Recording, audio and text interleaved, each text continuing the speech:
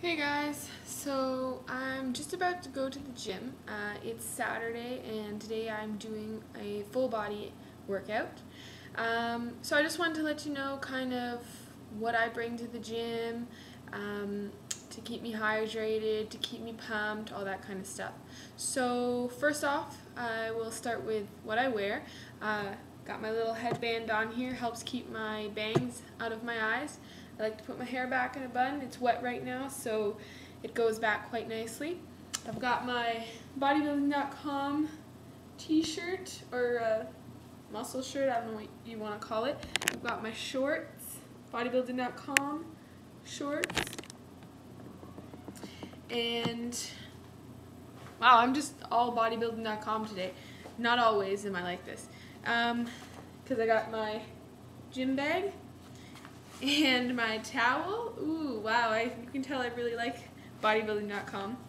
And I also have my weight gloves. I honestly can't, I can't lift without these because um, my hands are starting to callus pretty bad. Um, pink, I'm not a big fan of pink, but these were for breast cancer, so I got pink. Um, what else do I have in here? Oh yes, the iPod, can't go anywhere without that and it's fully charged everything. Um, and it just so happens that my workouts this time around are on a, just a normal piece of paper printed. You can see I've got them here. Um, so I'm going to be following the full body plan. And then I also always have this book in here. Life isn't about finding yourself, life is about creating yourself. I saw this book at Chapters and I really liked it. It's just a, um, an empty, you know, empty pages.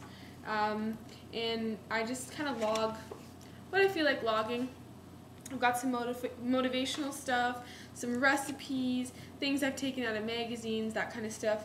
Usually this is where I also keep my workouts, but it just so happens that, like I said, I did it on a piece of paper this time.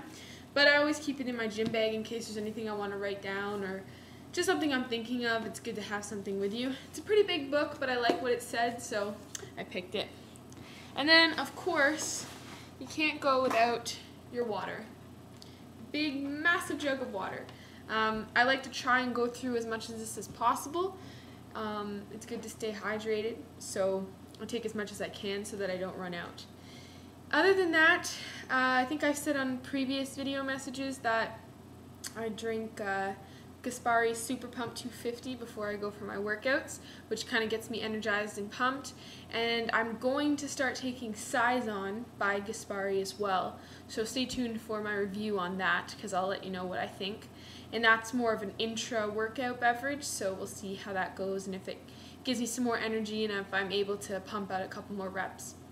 So yeah, I just wanted to give an idea of what I take with me to the gym. I'm about to head to the gym right now, so I will talk to you guys later. Thanks for watching.